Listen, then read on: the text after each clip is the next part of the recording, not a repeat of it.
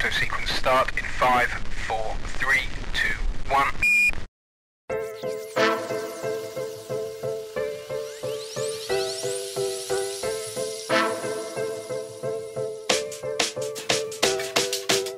This is Out of Bounds, two guys talking sports and astrology. You're listening to Wayne Moody and Mark Lerner.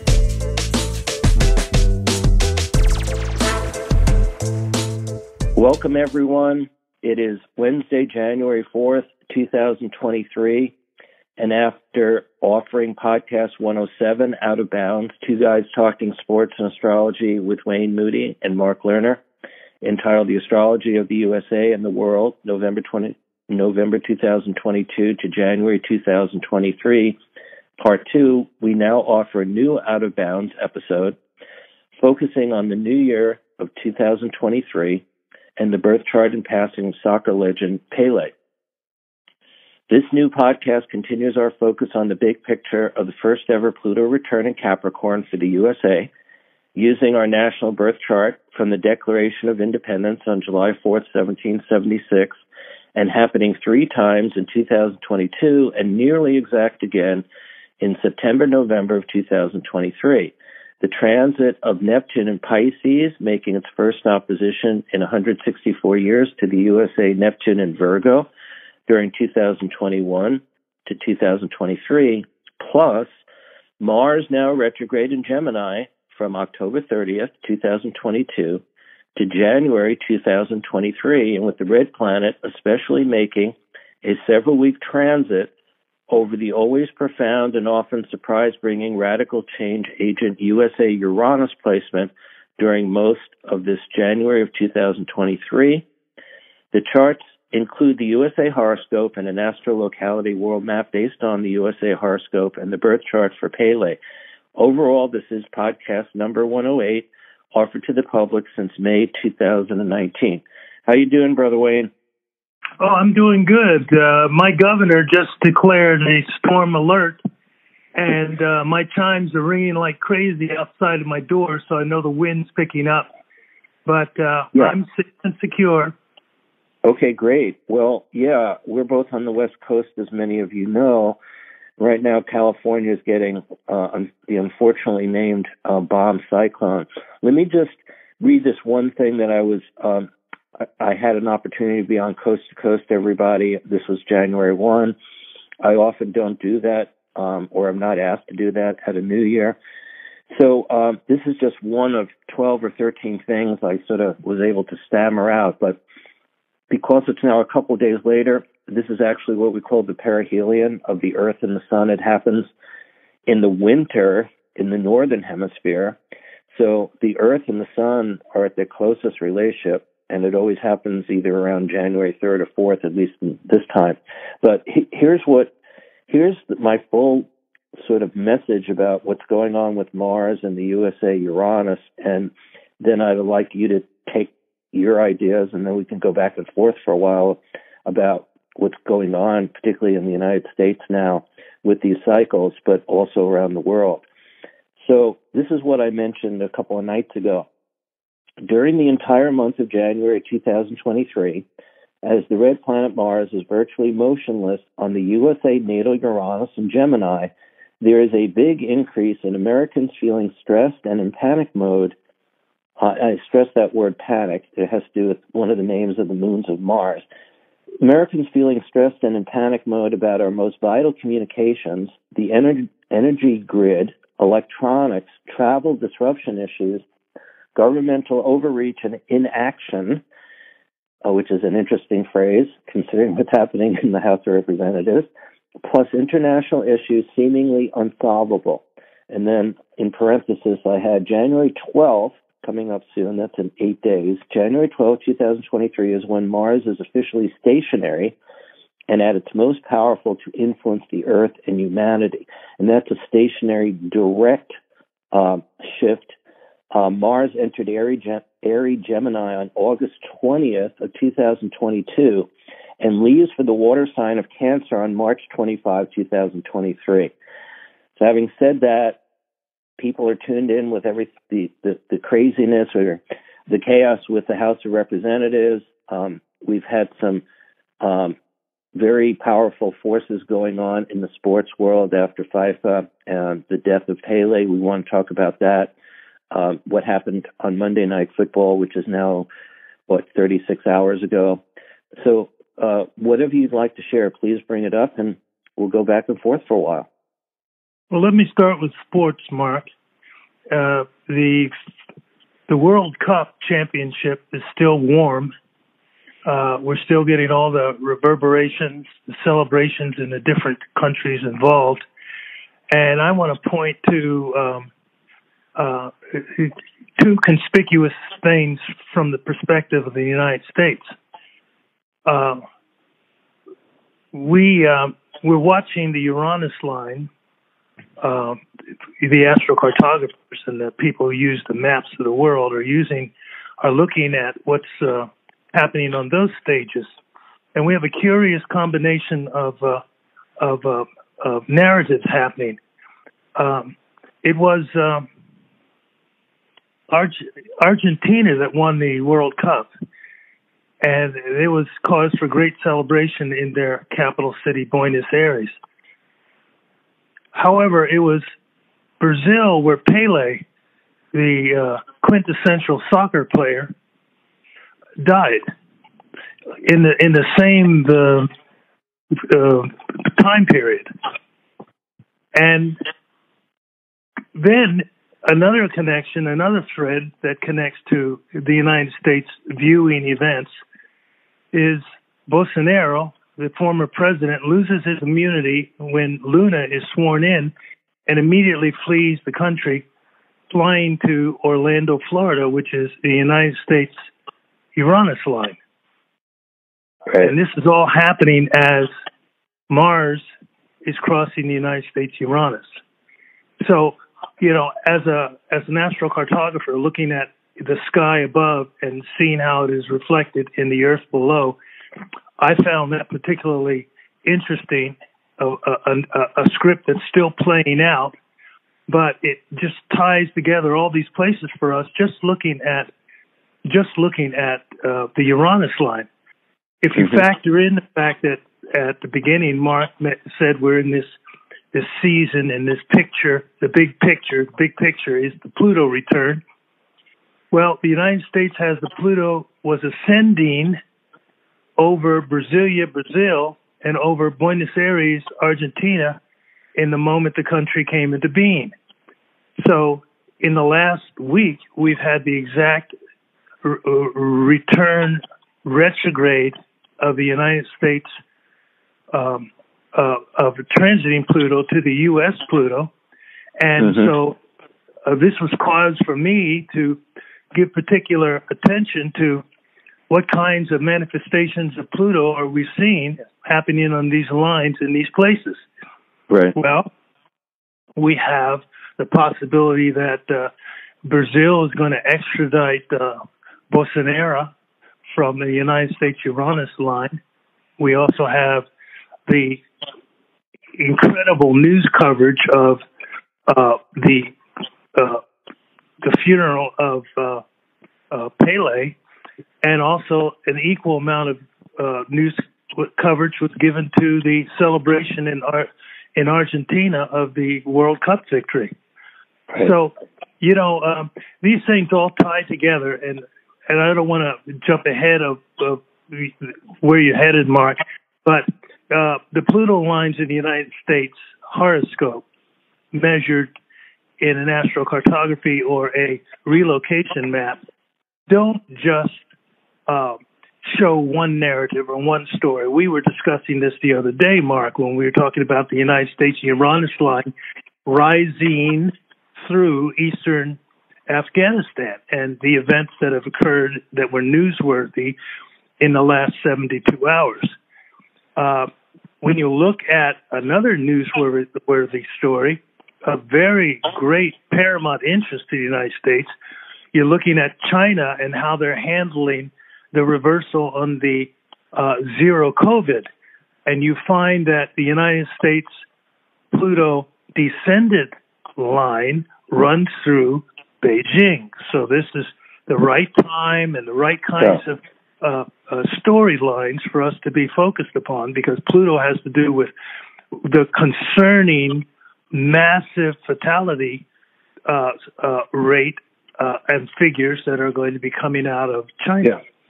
Back yeah. to you. and- yeah. Well, you just brought up several important points. Um, when we had New Year's, and this was almost exactly when basically the whole planet is wishing and hoping what what good energies you know can happen the new year. Venus united with Pluto for the fifth time in two years, and that's because Venus and Venus went retrograde last year at the end of last year, and we had a bunch of Venus Pluto conjunctions.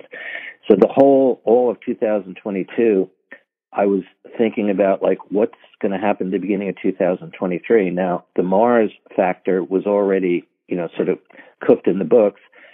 Fascinating that from October 30th, when Mars went into Gemini, and what's amazing is literally as we're doing this, folks, the moon is at 22 of Gemini, and in the chart for Pele, by the way, this is this will be on Great Bear Enterprises, and it's also be on YouTube. But we have a folder on GreatBearEnterprises.com in the in the astros, astroscope section where this particular Out of Bounds podcast will be in uh, folder 108, and you'll see the chart for Pele, October 21, 1940. His chart is an exact chart, or at least it's given as exact 3 a.m. in the town he was born in Brazil. And what's amazing, because of all the accolades and the influence he he has had on sports, on what they call football, what we call often soccer, it's pretty astounding that he was born with a elevated moon, the only celestial body at the top of his chart, at 22 Gemini exactly. and Wayne and I were planning to do this like what was it, two days ago, three days ago. Everything gets delayed. Today is the perihelion. The Earth and the Sun are at their closest point. We're seeing the and the intensity of Mars on the United States Uranus. The thing I wanted to bring up about the Venus with Pluto, because what Wayne just shared is we've got this rare situation. 246 years after uh, 1776, Pluto has come back. So it came back three times. February 20th was the first one. We had the Ukraine war start four days later. The next one was, I think, July 10. And so we all were sort of, all, as astrologers, with bated breath, what was going to happen the end of this year when Pluto did it again.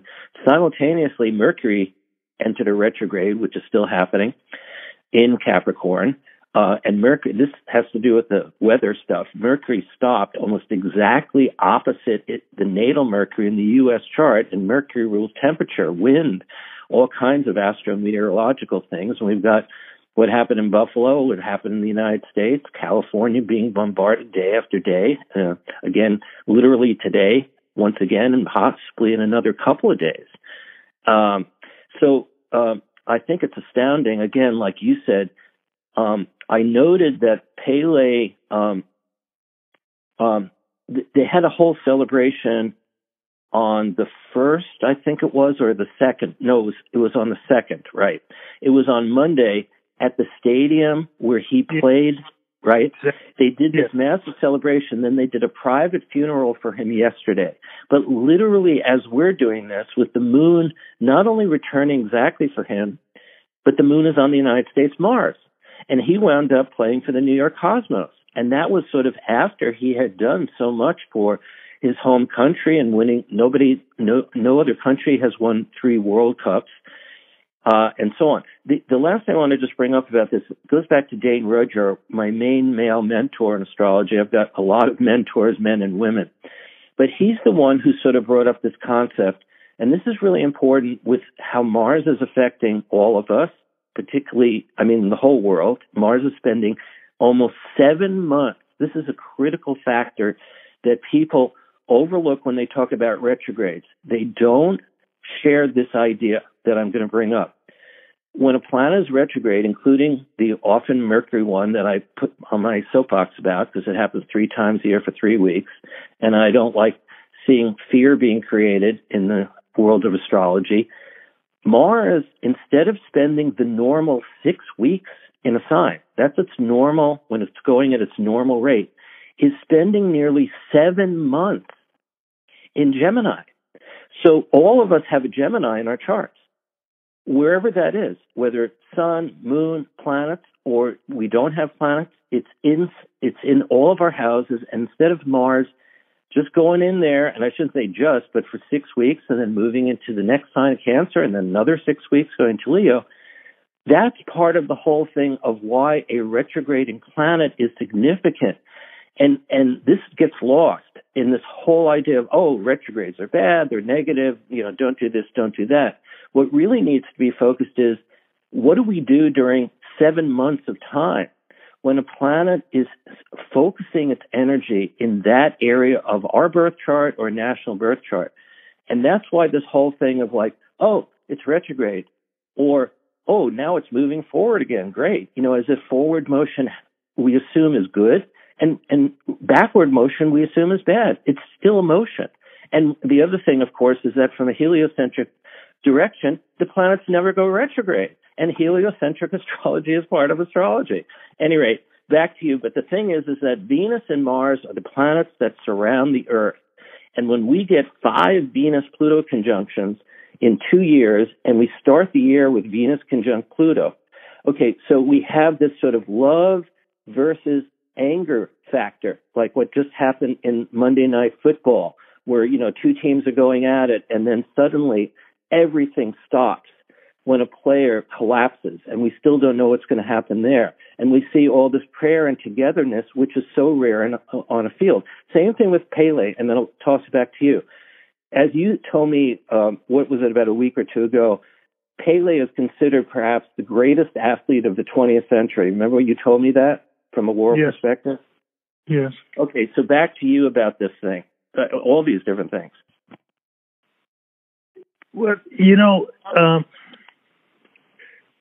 the fact that there are archetypes for all the planets operating in the charts of each individual and in the nations that they are part of.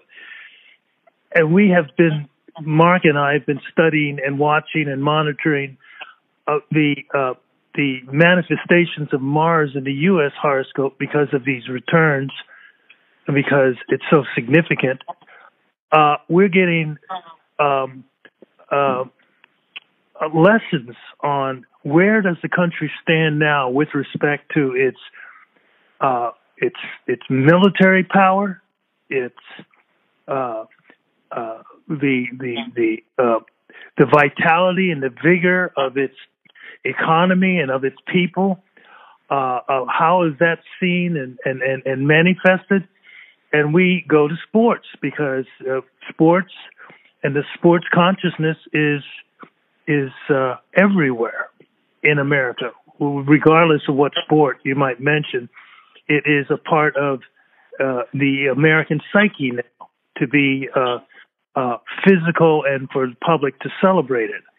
So these mm-hmm. stories we're getting from the Pele and from the football field, and soon the basketball season, uh, it, it, it, you know, uh, will produce its stories, but we already have some about um, uh, prominent basketball figures who have said controversial things on court, and while we admire right. them for their abilities, we condemn them for their positions that they take in the public sphere, on the public arena, and so, uh, Mark, it's just been an illuminating season, and for me, and for you who have a sports yeah.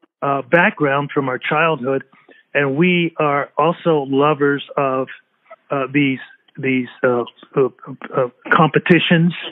We know the benefits that we got going through them, but yeah. then there is always the dark side of of that kind of celebration in this country.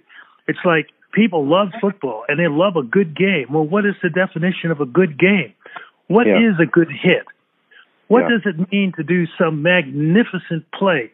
Is it yeah. literally to catch the ball with one hand and stay in bounds and and and uh, 50 yards down the field, or is it a linebacker crushing and a, a running back in the hole, or yeah. the violence that goes on on the line between 350 and 400 pound, six foot five, six foot eight men yeah. to a standstill. So, so we we we if we had any illusions about uh, the nature of the beast as far as the American culture uh, and and and and and and, and uh, current temperament is concerned, when we see politics and we see people fighting one another like offensive linemen and defensive Yeah. linemen, we see that, we we we should be clear that. Uh, and so, what are the rules? And, Uh, and all this does is bring me to the age of rule changes. That's what we're in. I see the society at large reconsidering what things mean. And you and I have been joking about, you know, they do this and they change this rule and they, they you know, uh, they they're changing the game. But why? That's why we do out of bounds. It's like, what are the new Mhm. out of bounds measures? And whether it be in sports, football, whether it be in sports, uh, the soccer world championship and, and the things that countries do to win the bids and build these stadiums on their lands to attract the media attention. What's that all about? You know?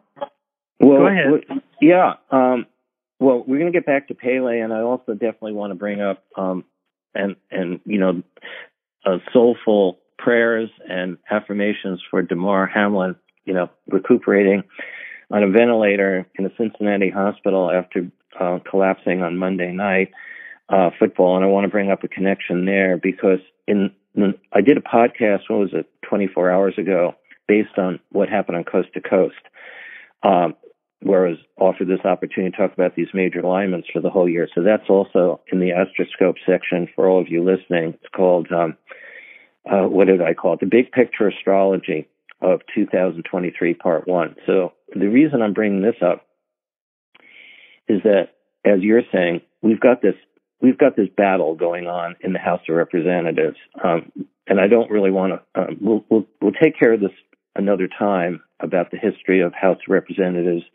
Brother Wayne sent me a very uh, illuminating story that I did read this morning on the first uh, Speaker of the House and the history of Speakers of the House and the roles of that. And um, that should be an education for anybody right now looking at, at that kind of story. And maybe um, when we do the next one, which hopefully we'll do in the next two weeks, we can we can see where how many ballots have uh, did it take. I'm laughing. It's not a funny. Uh, it's not funny. And and here's one of the things I want to talk about this before sort of shifting back to um, what happened on Monday night um, in football, because there is something. There is a, a link that's very very important about uh, John Lennon and Pele. So I want to share this. This is like so unusual and synchronistic in a bizarre way about their births. So let me just say this that one of the articles I just saw, Wayne, and to the audience today is we may be watching this if you're watching these, I don't know if we call it shenanigans, these speeches, you know, going on in the House while we don't have a Congress that's really being, you know, uh, starting. I mean, we, we need to have a Congress one way or another. And I won't, I don't want to get into the politics about it. It's very disturbing, I, I think, for Wayne and myself and many of you out there listening. We want to have people seated. We want to have a functioning government. One thing, though, that relates directly to Mars on the United States Uranus and squaring our Ceres, the largest asteroid, which is in a tight square natally to the U.S. Uranus. Ceres is at 8 plus Pisces, not moving, July 4th, 1776.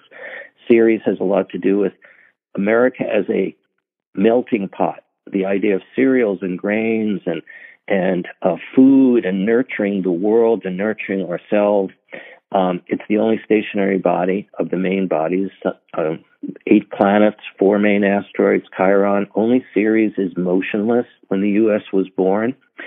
So the idea of all of us coming here and intermingling uh, religions, philosophies, ethnics, ethnic groups, and so on, the whole history of this country before um, so many people came here, and now at this point in 2023. So as Mars activates and sits on top of our Uranus, which can be enlightening, which is what we're hoping to do, and so many of you out there in your own lives. At the same time, we know that Uranus is a planet of shock. It's a planet of needing to expect the unexpected.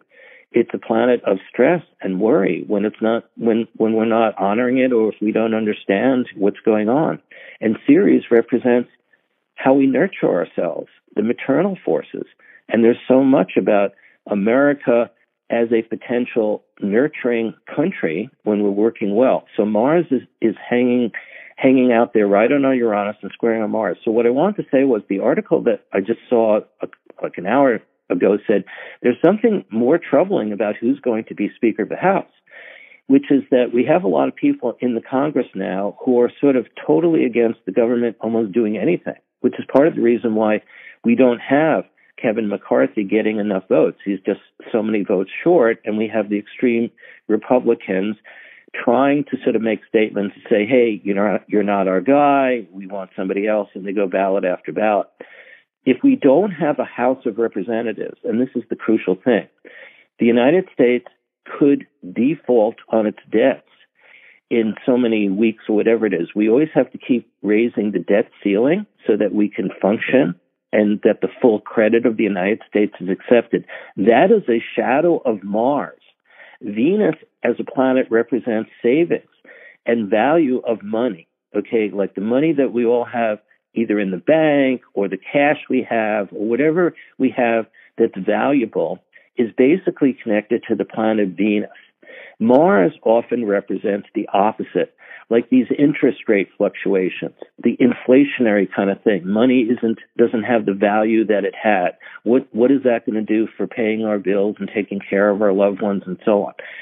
So what the, the article I read was very interesting because it didn't talk about Mars, right? And I'll, I'll, I'll, I'll throw this back to you, and then I just need to remember the connection uh, to Pele and John Lennon with Monday Night Football. So I want to share that, but I want to give you a chance to respond to what I'm saying here. Um, the debt ceiling has to be raised every so often. And, and you can't not have a House of Representatives. And even if you have them, they have to be willing to do that because otherwise the country could go down in flames relative to the rest of the world with the dollar, the reserve currency, the Federal Reserve, and all these other kind of things, the currencies, oil prices, and so on. The other thing is that we have to pass budgets and you can't do that unless you have a seated house. So this whole thing is like throwing into light as Mars is just sitting on our Uranus for the whole month, squaring our Ceres. It's like what we're seeing is the slow motion craziness in the House of Representatives. So while there are all these personalities, the greater disturbance is we can't have a malfunctioning or non-functioning House of Representatives. Back to you. Well, the con- the Constitution of the United States gave the legislative body the power, in particular, the yeah. House of Representatives, the power of the purse. Right. So the executive, the chief executive, he can want to do all kinds of things, such as go to war, right? But or or make treaties. But if he doesn't get the vote and the approval of the House, right. he has no money to pay for the war, yeah. and therefore he is not empowered. He doesn't right. have agency. And so that's why we're looking at a slow moving catastrophe in the midst of the kabuki yeah. show. We're watching, yeah. you know, uh, the Laurel and Hardy annex. Uh, you know, we're watching the Three Stooges yeah. We're watching the the glor- the glitz and and and the thing that makes television and and uh, and voyeurism so um, uh, right. addictive in the American culture, but are not mindful that is if you're cheering for a guy who's getting kicked, you're yeah. kicking yourself. You're getting kicked because Kevin McCarthy or whomever the speaker is going to be yeah. from the Republican Party serves the public. Well, uh, let, let me break in here. This is, I told you this a while back when Kevin McCarthy, this is early in the year, or maybe even last year. And I did this, this is just like, because you just brought up um, Laurel and Hardy, the Three Stooges. So I have to bring this in because I was focusing on it. You kind of read my mind. There was another Kevin McCarthy, the Kevin McCarthy who is the actor in the original Invasion of the Body Snatchers. And what's amazing about this is that I've been, you know, focused on Kevin McCarthy the speaker or uh, you know the minority leader of the House for the last couple of years. But I, you know, and I did do his chart a while back, and I knew it was a sun sign Aquarius. So that I knew. And at some point, I started thinking I wanted to look up the other Kevin McCarthy because as a kid, I loved the original um, Invasion of Body Snatchers. And if you never saw that, and Kevin McCarthy is the key actor. And at the very end, in California, not far from Brother Wayne, if I can say that, in California, when the, these pods are arriving, he's running and screaming. Did you see that original movie? Not the Donald Sutherland one, the one, the original one. You know which one I'm talking about from the Black. Well, I don't one. recall the details, and I'm going to have okay. to check it out, oh, Mark. Okay, okay, folks. The Donald Sutherland one was a repeat. It's okay. It's not too bad. But you know about repeats. This is the original one from the 50s. One of the greatest science fiction movies ever about the pods coming in from, I don't want to spoil it, but basically people's identities are being stolen by alien forces coming through Peapods. It's a fantastic premise and idea. Well, this actor, Kevin McCarthy, was in it. And at the very end, I guess this will be a spoiler alert, he's screaming, they're here, they're here. I'm doing my best impression. And he's running through the streets and these pods are being taken by trucks and they're going at one point what was really interesting was in the actual movie they show a train thing leading to Eugene, Oregon. And I live in the greater Eugene, Oregon. And I, when I watched it recently, I said, Oh my God, you gotta be kidding me. I never saw this in the beginning. When I saw this movie, I was living in New York. So, you know, here I am not far from where the P, the pods of, of this great movie. Anyway, Kevin McCarthy, here's the thing, is also a sun sign Aquarius. The actor, he passed away. He was born, um, in February, a little later, uh, Kevin McCarthy is a January 26th baby, 1965. So I was looking at his chart.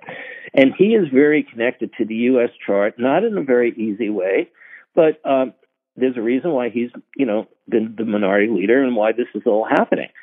And at the same time, there was this figure, and he was born in Seattle. Okay, the, the Kevin McCarthy is a, is born in Bakersfield, so he's a California native, and he represents this area of Southern California, and he's been in the House for you know quite a while. The Kevin McCarthy actor was actually born in Seattle, and then what happened was his parents both died during, and this is like another synchronicity to the last couple of years during the Spanish flu, both of his parents died of this actor, and then he was raised by a family member of all places in Minneapolis, which is the whole George Floyd area. Well, this actor passed away a number, not too far, you know, a number of years ago. I forget what it was, and he was born on, I think it was Valentine's Day in 2000 and, uh, excuse me, in 1914. So when his parents died, he was like four. Okay, he became an orphan, then went to Minneapolis and so on. But he became an actor. He was in over a hundred movies, you know. But he played this iconic role, and it's all in California. And if we do astrocartography, both Kevin McCarthy was born in Seattle, right, the actor, in 1914. This other Kevin McCarthy, a hundred years later, is in the house from Bakersfield with all of this scary kind of stuff about who are we, facts, reality, kissing the president's ring down, you know, after he had declared, you know, remember that whole thing with with the the Capitol um, with the insurrection. Kevin McCarthy made a statement about the former president saying, you know, he should resign. That was in the two weeks before, you know, the next um, uh, before Joe Biden was going to have his oath of office and so on, that uh, President Trump should resign. Then he went down there, kissed the ring, and changed everything. And this is where we are now. It, it, what I'm saying is there's this duality about who he is. He's not being acceptable. He's a sun sign Aquarius, and the actor who came from the same line of energy was the person talking about this duality of aliens coming through these pods um, and cha- changing people. So there, I remember thinking about it as like this is like a morality play. If we were to all watch that movie from the 1950s of alien sort of consciousness taking over the country. And the other part about this that you and I talk about all the time is about the COVID thing. This whole division the last couple of years where science is being thrown out the window. And what my concern is, and I think it's yours as well, we're older. Okay, we are people who've been involved with astrology for myself 50 years, Wayne for 30, 35 to 40 years. We've got almost 100 years of astrology. And when we did astrology in the beginning, at least when I did it, I think the same for you, right? We did charts by hand. There were no computers. Everything is like racing forward. But as we go forward, we want to evolve and not devolve. And I just, I just find that movies, you brought up Laurel and Hardy and the Three Stooges, it is astounding to me, even watching the last two days, you know, on television, that, that somehow that whole thing is like, would be like a Saturday Night Live episode, but it's actually reality. It's actually reality. Mark, I want to add something to what you were saying about the McCarthy who was uh, in uh, uh, in the movie. Right. Uh, you said both of his parents died during the Spanish influenza. Both he became an orphan. He he then an uncle had him live in Okay. Minneapolis.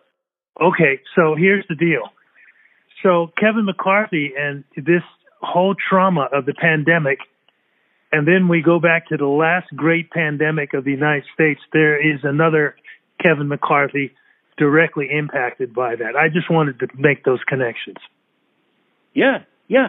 And and before I forget, because I often lose a thread when I do my own stuff. So you're gonna you're gonna connect it to Lennon, by the way. Yeah, John Lennon. That's exactly where I want to go. So we had the triumph of Lionel Messi. By the way, I'm born on the 10th, and I, for whatever reason, I when I, in sports when I noticed somebody wearing the number 10, Lionel Messi wore 10. Why is he wearing 10? Probably because Pele was number 10. Okay, so I've noticed this a whole lot. Justin Herbert, who played uh, for the Eugene Ducks, who's now doing so well for the Los Angeles Chargers, is in number 10. You know, um, all these different numbers and so on. The foundation of astrology is numbers. Mars is sitting for this whole month now, and it just became exact on our Uranus. Just at, you know, when I say exact, to, as you know, Wayne, the degrees and minutes of art. We are often sticklers, not just oh, this is like Mars is near our Uranus. No, th- these are like direct hits. And Mars is so slow now that it's just sitting on our Uranus. And we're seeing this through television, which is a Uranian invention. Television. Mark, is it at nine? Is it at nine or ten degrees of Gemini right now? Oh, no, well, uh, eight plus. So it's it's drifting back to eight plus, which is where it will station. It's not going to go to seven plus. Okay, it's sitting on eight plus, which is the Uranus degree in the U.S. chart, and it's just sitting there. So just as that's sitting there, we have on television with this particular thing. Look, let's go let's go to the sports for a second because that happened the night before all of this. And I think that's important because what we're doing with two guys talking sports and astrology is the juxtaposition that on Monday night football, Monday was a holiday, bank holiday and so on because New Year's was on Sunday. So here we have all of Monday. A lot of people were still having a three day weekend.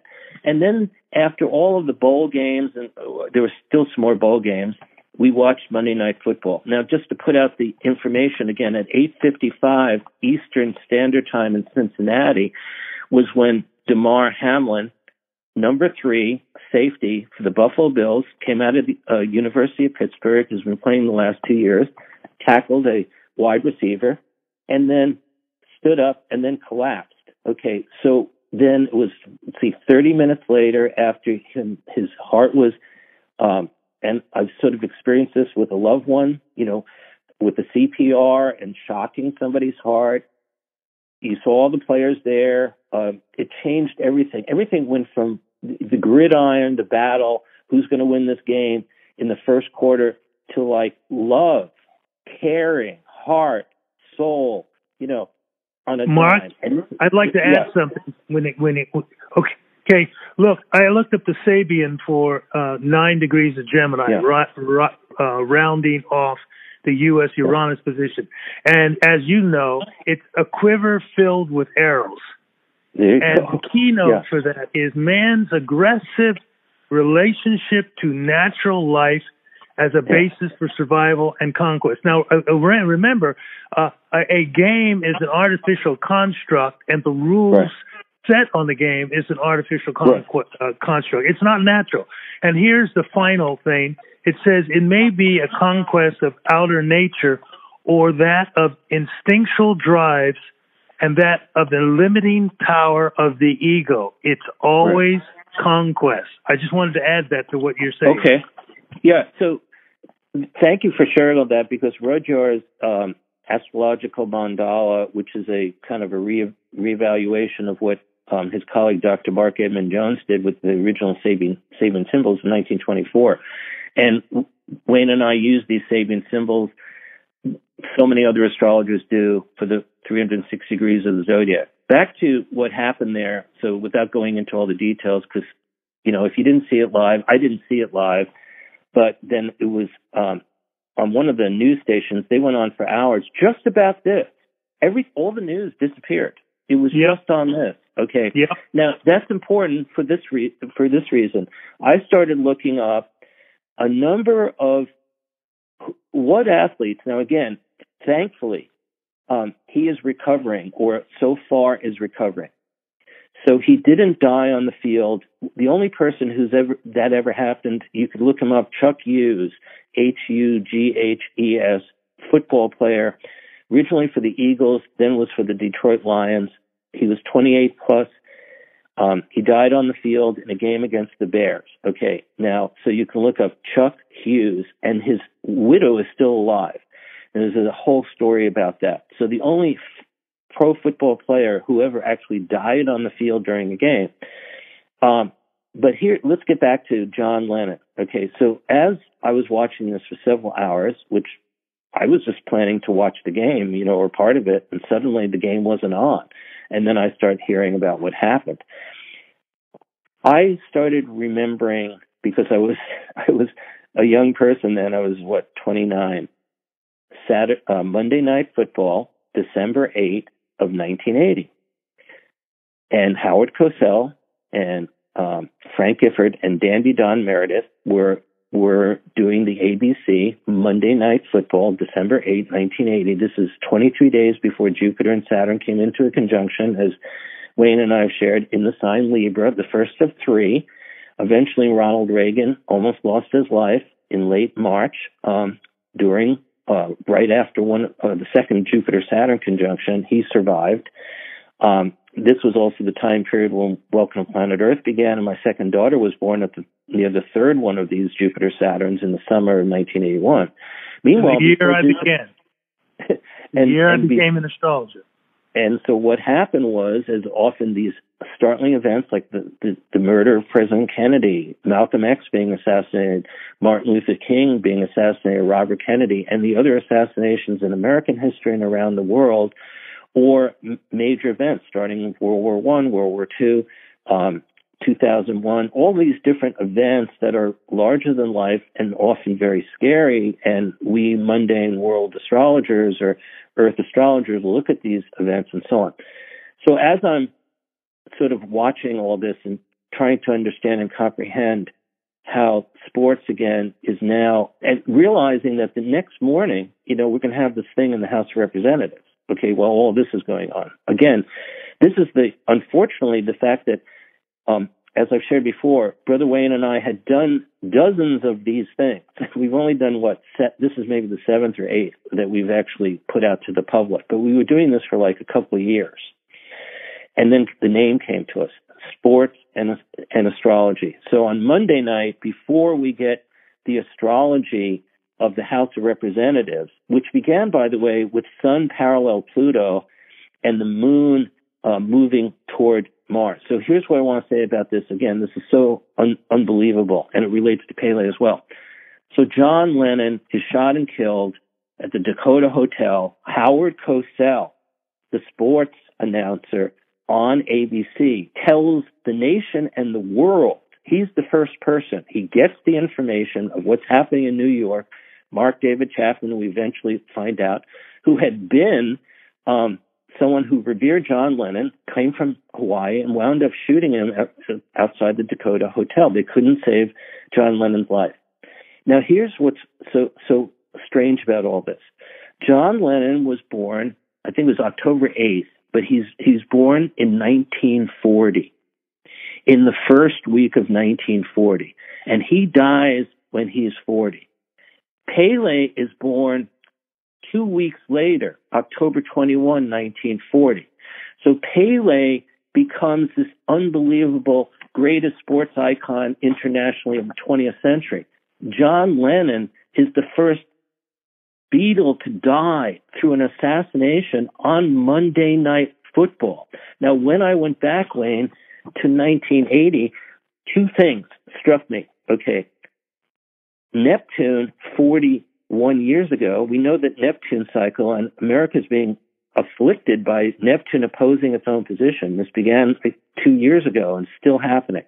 Neptune in Pisces, opposite our Neptune in Virgo. So Neptune, one quarter of the Neptune cycle of 164 years is 41. Okay, 41 to 42.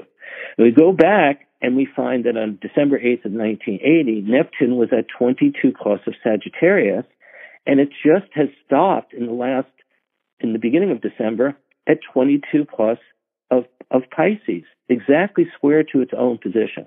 Yep. And so the anniversary, which was in the last month, of John Lennon Yes. dying on Monday Night Football, Yes. and then Pele dying at 82, halfway through a Neptune cycle, which is a dangerous thing for, oh, you know, my dad died at 82. I had people who are in their 80s, you know, Anthony Fauci is 80 to 81.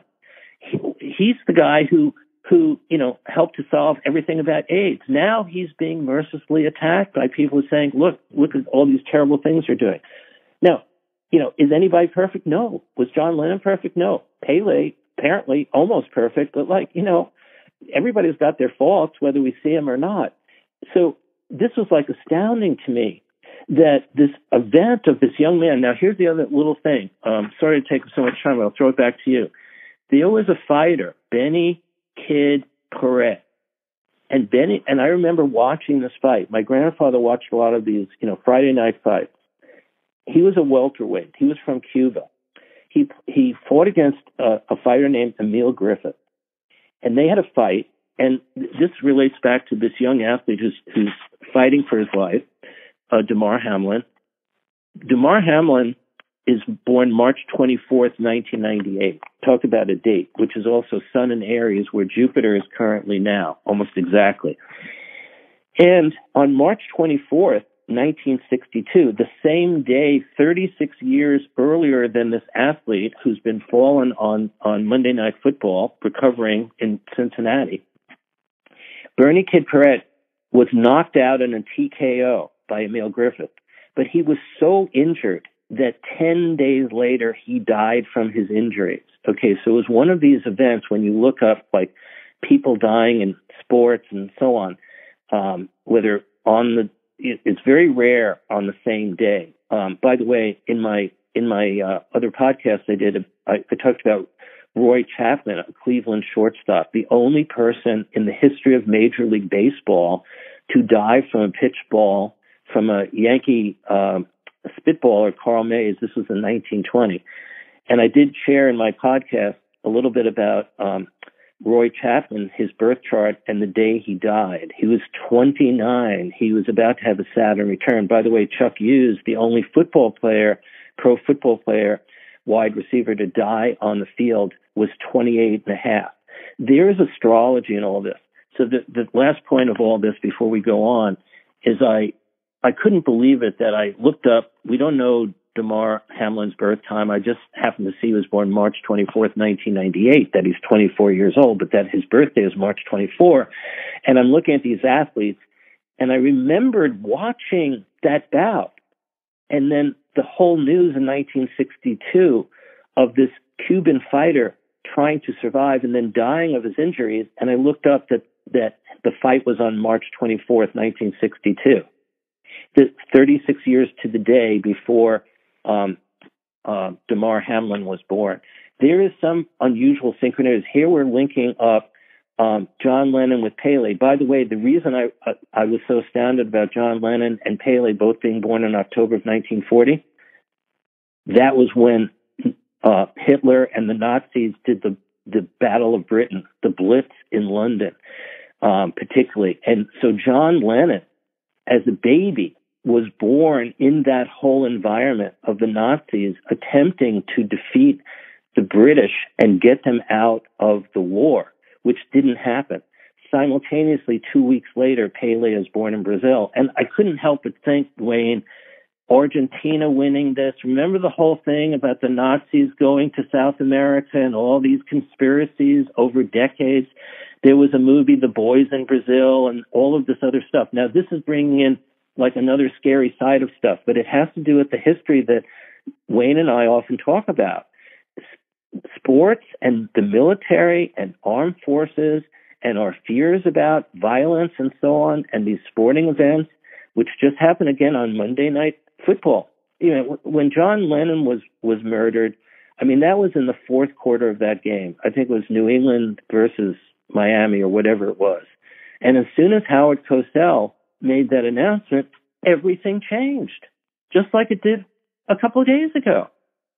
It was the same kind of scenario.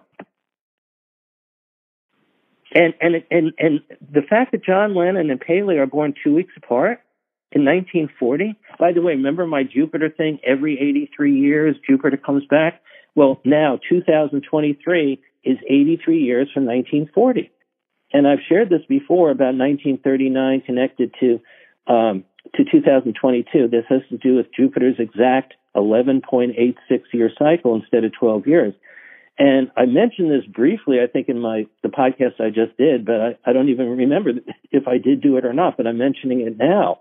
We are now repeating Jupiter every single day this year is every day is back to where it was every day, January, February, March, April of 1940. And 1940 was a very, very difficult year in many respects for the war and where where that was going in World War II. Mark, Mark, yeah, I'd like to to put a ribbon on this without looking at the many details that you just gave, which are demonstrative of what we do as astrologers and what we can see uh, to reveal and put into narratives for people. Uh, back to the Sabian symbol for nine degrees of Gemini, it's always conquest.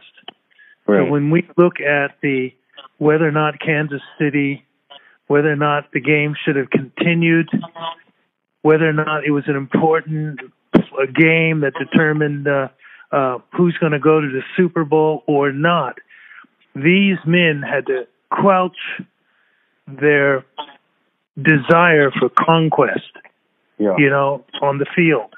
And we saw it in real time. We saw these very strong, very big, very aggressive male men uh, brought to a standstill. Right. When their their intended purpose, when they entered the playing field, like gladiators, was to con- have conquest over the other opponent.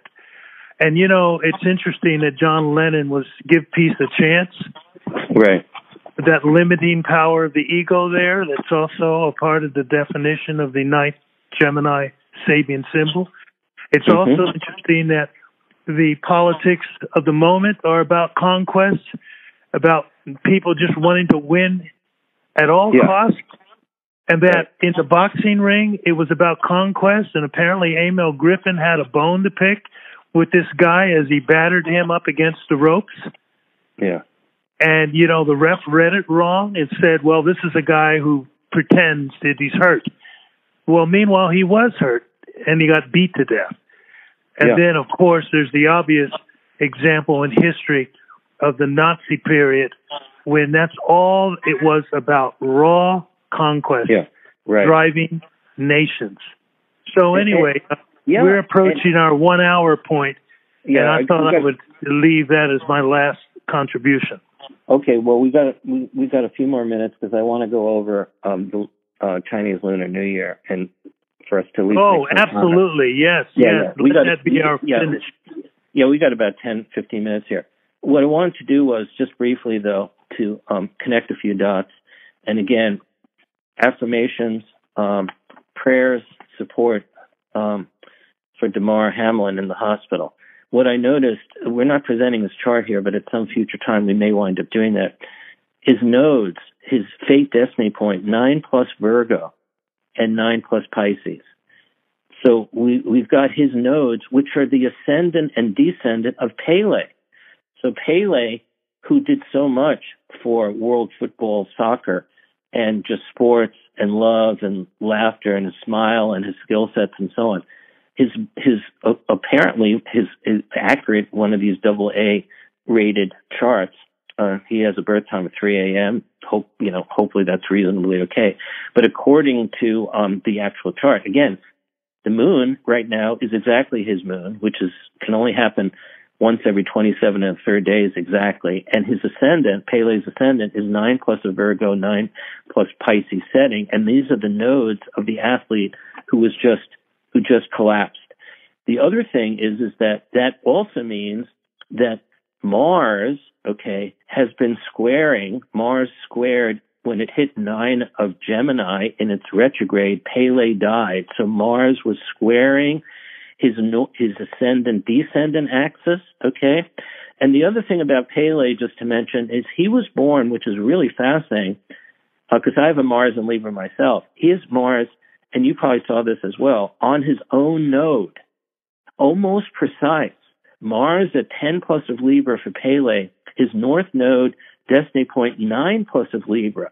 And talk about Mars on the orbit of the moon. And in mundane or earth astrology, the moon has so much to do with mass consciousness. And again, another validation of the power of Mars in this incredible player's life. He was also born as John Lennon was in 1940. We had a Jupiter Saturn conjunction in Taurus. Okay. Along with Uranus was also there in Taurus, but Jupiter and Saturn were conjunct. And that's where Pluto is about to hit over the next couple of months and over the next two year cycle. We're about to have Jupiter, Saturn. We had Jupiter and Saturn hit zero of Aquarius, um, which was which was only two years ago, starting a new 20 year cycle in, uh, for Jupiter and Saturn in Aquarius, and for 160 years. Now we're going to have Jupiter Saturn conjunctions in the air signs. By the way, this leads into the Chinese Lunar New Year. So let me bring this up. I did 13 podcasts about um, coronavirus and China and um, what happened there. This is like two years ago. One of the things about research was if you go back in time, when was the last time that Jupiter and Saturn conjunctions turned out to be um, in the air signs? It goes back to the time of the bubonic plague and the Black Death. This is when Jupiter and Saturn, Jupiter and Saturn go from um, fire signs, earth signs, air signs, water signs over a 794 year cycle. And they are the movers and shakers in astrology. So the fact that Pluto, which has been in the end of Capricorn for a long time, is about to hit the beginning of Aquarius. And as you know, and I'd like you to make some comments, the China chart, which is October 1 of 1949, the modern chart for China under Mao and the Communist Chinese, which is a fairly exact chart, we have a moon and ascendant in early Aquarius, and Pluto is poised to hit that point in terms of Pluto having not been there for 200 plus years. Now, here's here's what I said on my previous podcast. The Chinese Lunar New Year, which is the water rabbit totem, which occurs Saturday, Sunday, January 21, 22, is much more powerful than usual as it coincides with the potent Aquarius new moon, and this is important plus the revolutionary radical change planet Uranus in Taurus is stationary at the Chinese Lunar New Year. That is not something that almost ever happens. And Venus will be with conjunct Saturn on January 21, 22. That only happens once a year. And Jupiter will unite with the asteroid Juno. They'll be in Aries. So what I said here, and I, I did this in my podcast and I said it briefly on Coast to Coast, this Chinese Lunar New Year water rabbit Again, January 21, 22, with Uranus not moving, Venus conjunct Saturn, Jupiter conjunct Aries, uh, Juno and Aries. This leads to upheavals in China and fears over a new pandemic, student and youth uprisings in China and elsewhere, and financial instability around the world, including threats to the leadership of Chinese Pres- President Xi. So if you can have some comments about that, I am very concerned because three years ago, this is how the original COVID came out because thousands of, of people in China, Hong Kong, Macau, not only there, but from other places like where, where Chinese individuals were going home back Vietnam. to their home country and then coming Vietnam. back. Yeah. So so now we have a repeat because they've had the as you said earlier. Suddenly we went from this these horror stories of seeing the different officials in hazmat suits, you know, shutting down universities, preventing people from even taking their dogs to go for a walk. Everything was a zero policy, and then these students rebelled. They were they, all this violence, and on New Year's, Xi comes out smiling and saying, "Oh, we're reopening. Oh, you know, we're doing this," as if, as one writer said, suddenly COVID is now just nothing more than the common cold, and and now this is what I find astounding. Look, China has has is an amazing empire. It's it has a long history, philosophically, spiritually, on so many levels. So much so much damage was done to China by Japan before you know before World War II was starting over the centuries. But whatever's going on there now with this whole situation of lies, um, of what they're doing and so many other things. There's a whole issue of TikTok. You know, our Christopher Wray has come out and said, if you're on TikTok, that particular app, you have to be really careful. The whole country has to be careful because of getting data from individuals. There's just a lot of stuff that has to do with, and that's part of Uranus as well, not moving. I am very concerned that we're going to have a repeat from three years ago with so many people flying around and the CDC and the World Health Organization seem out to lunch. We don't have any kind of real monitoring anymore, particularly where people are just like, oh, I've got my COVID testing thing, so I don't need to have to report that. So we don't have any statistics anymore. Back to you. Well, China for the world is a gigantic petri dish. Visualize yourself as a mad scientist and you need to have a lab, and in your lab you need lots of guinea pigs, mice, in order to do experiments on. Well, right now they just unleashed whatever is, is there, whatever the reality is. They've unleashed it unguarded on a billion point three people. Right. And so the rest of the world to think that, oh, well, look at what's happening in China. That's like the Democrats sitting in the House of Reps saying, look at what's happening to the Republicans. No, it's a pox in your own house, too. Because yeah. this is a, a united, this is a one world. Now, personal, on a personal note, I have ever since 1987 when I was writing about the Persian Gulf, I have been aware that the United States Pluto lines went through Eastern Australia, went through Beijing, China, and went through Brasilia, Brazil. I, I am also aware that it went through the um, Arctic Wildlife Preserve, and that's because I'm an environmentalist and I was interested. But when I look at what's happening and what ties all of these places together, I also realize that the U.S. Pluto at 27 degrees at 34 minutes of Capricorn is my relocated ascendant to Beijing, my relocated midheaven to Beijing, China. Mm-hmm. So here is me, individual one of eight billion now, and I'm tuned in for some reason to this place. Well, I have a sense of why. About um, 30 years ago, in the 1990s, I used to make a habit of going into the local Kmart, which is a couple blocks from my house, and walking up and down the aisle with a pen and paper to note how many items were made in America because you know there was this all of this big push uh, buy America and all of this polit- politically going on in America in the 90s. Right. And so because after after the US uh, savings and loans crises and the bank crises in America, uh, the Bank of America was no longer the largest bank in the world, and it became Japanese banks. And mm-hmm. of course, the China, Japan was looking over its shoulder at China sitting off coast. What's going to happen when they get their act together? What will happen to their economy? So here I am walking through the Kmart's in the 1990s, and I did this quite a quite a lot. I would take note. Uh, is it all um, um, who, who is it? The Stewart line of of of of, of, of items. uh, in stores? Nope. I would go and I would look and I would see labels made in China, made in China. I'd go into the to the yard care products, made in China, made in China. I'd go into the um, uh, house um, uh, uh, appliances, made in China, made in China. And my conclusion then, I didn't need to see uh, Forbes magazine um, put these facts out for me. I didn't need to be following Wall Street to get these facts. All I needed to do was go into the local community stores and see what the merchants had on their shelves. Yeah.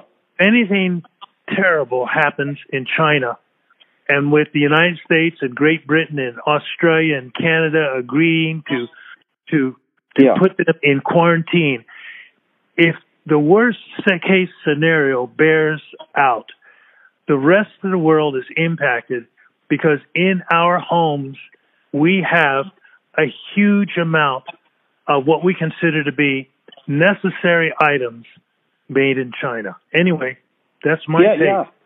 Okay, and I, I know you're going to have a closing, but you just reminded me of one more thing. I, I sent you this chart uh, just before we started, and um, folks, I have okay. Most of you know that when you do your chart or you've had your chart read, it's not just a natal chart. The astrologer or yourself, you can look at your transits and your progressions. I'm looking at Transits it now, Mark. Yeah, and transits are where the planets are at any given day, like what we've been talking about. Mars every day, not moving, sitting the whole month, nine degrees of Gemini. Wayne is giving out quiver with the arrows. We see that effect almost in every area of our lives, including how we're feeling personally. These these dualities going on. You know, we want to be more loving, kind. The whole focus of GPS astrology that I've been utilizing from being at Lucis Trust back in the 70s, where the Alice Bailey teachings were, and then being at Findhorn, um, goodwill is love in action. That's part of the major theme of GPS astrology, trying to bring astrology to a higher level. What I what I realized though is um, we have a lot of reports that are sold through Matrix software on our website. They're in the astrology shop, uh, astrology report area. There's like 17 different kinds of reports. The reason I'm bringing this up is what I normally do when I do a reading, and I don't know, you know, I think you and I share this.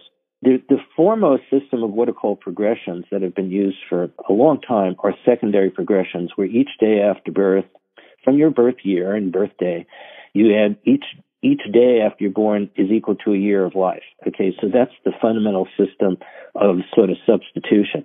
There's an, there are many other systems. Another one I did a whole podcast on is called tertiary progressions, which are more connected to the moon. However, a big progression system are called solar arc directions. Noel Tyl, um, who passed away recently, bless his soul, who did a num- some extraordinary things in the field of astrology. He was particularly a specialist in what are called solar arc directions.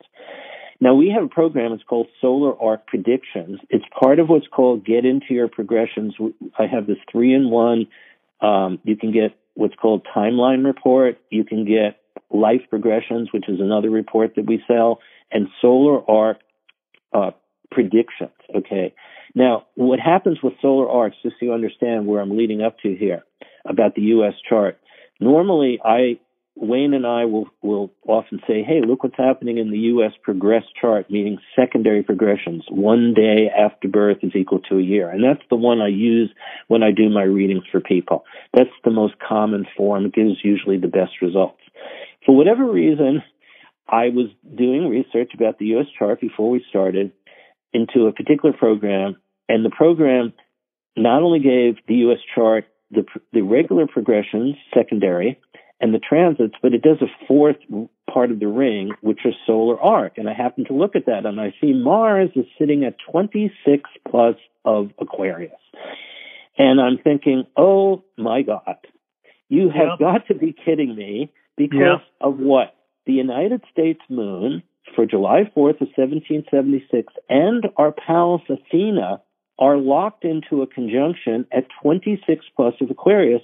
And then another planet called Quaoar, which I've shared about, it's a faraway planet in our solar system, discovered in 2002. I'll share more about that another time. It's a, definitely a real planet, is also at 26 plus of Aquarius. And so this is what's really important. That's why I want to extend this just by a couple minutes and, and you know, just get your take and then we'll finish up.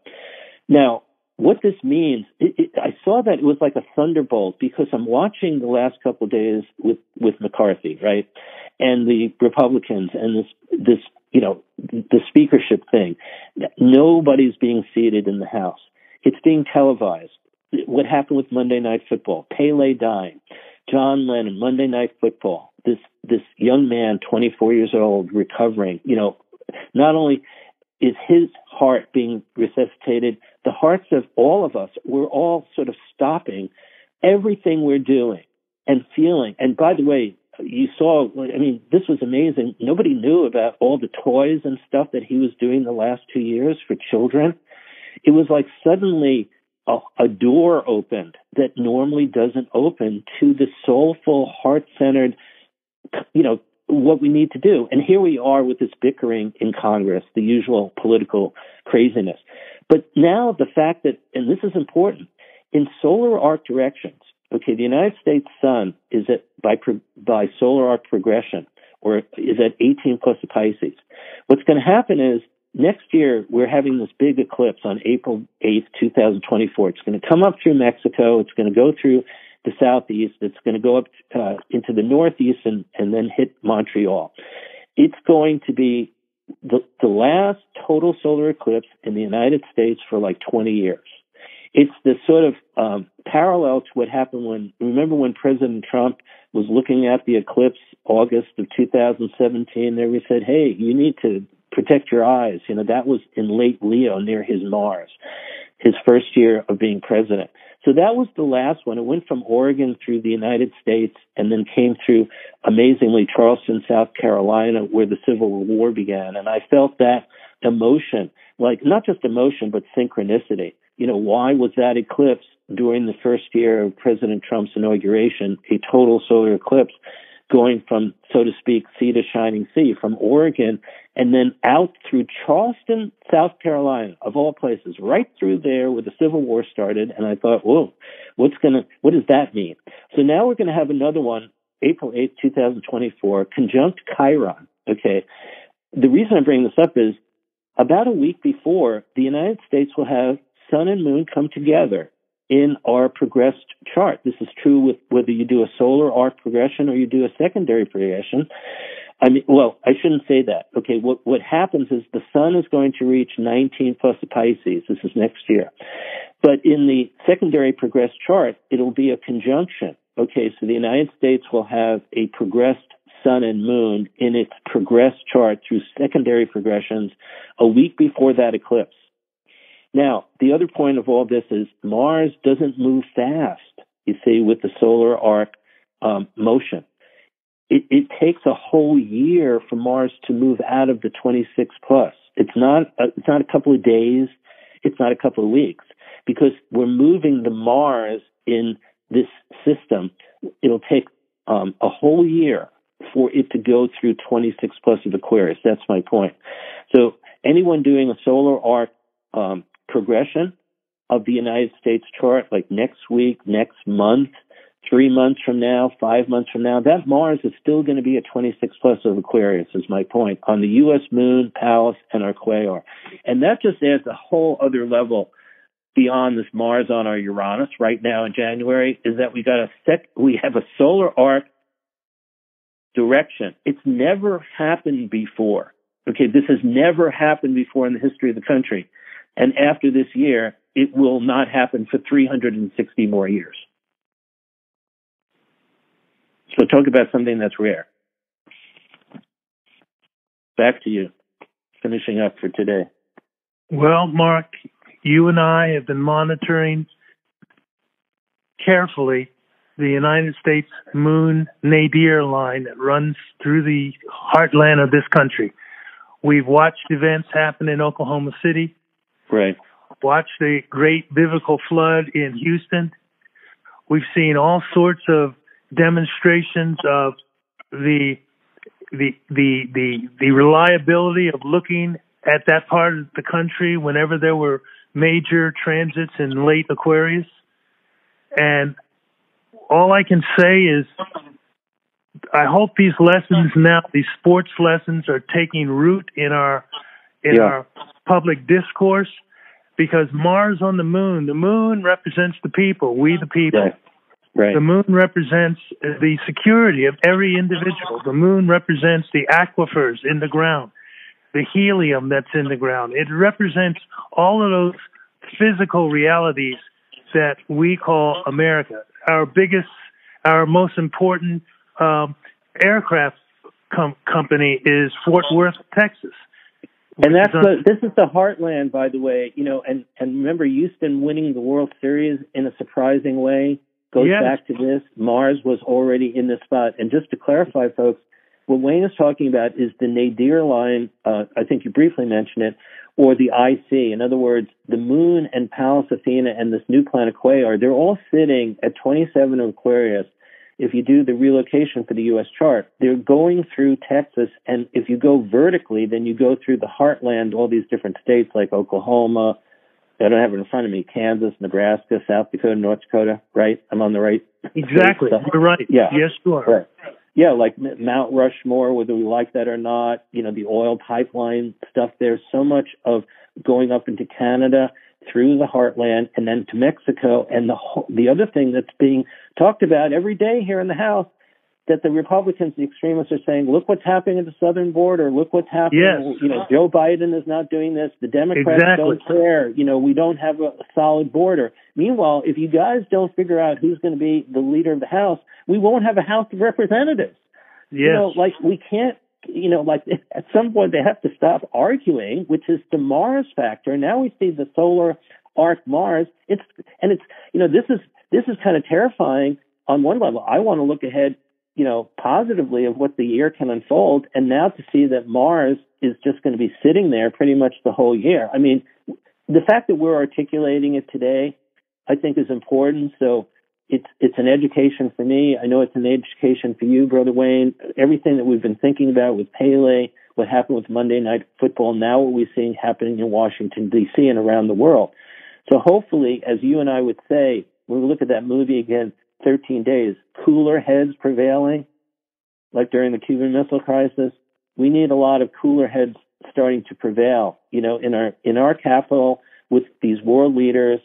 Um, it, it, we're in a dangerous time period all over the planet, and just hopefully, you know, Mars will move through this area, and we won't have any anything more extreme. Keeping my fingers crossed because that is it's going to be hard to have Mars just not moving, and we still haven't had the Mars station to go direct. That's on January 12th, and then just Mars stays in this spot, you know, pretty much the whole month, and then starts moving off of that degree. Finally. I guess we need to say our goodbyes for now. Why don't you go first? Well, uh, when Jim Lewis died, uh, I had I had the good fortune of being able to thank him for what he had done uh, for me as a mentor before he died in the living years. And I wrote this, and this is what I sign off with, and it has a great deal of intentionality uh, in its words. That you, each of you listening to this, find your place, seize the time, and live your life as art because you're all important. Well, again, thanks for you doing this with me, for us doing another Out of Bounds, two guys talking sports and astrology. Lots of love and blessings to everybody. We'll be back with another episode soon. Thank you, everyone, for listening. Take good care. Bye for now.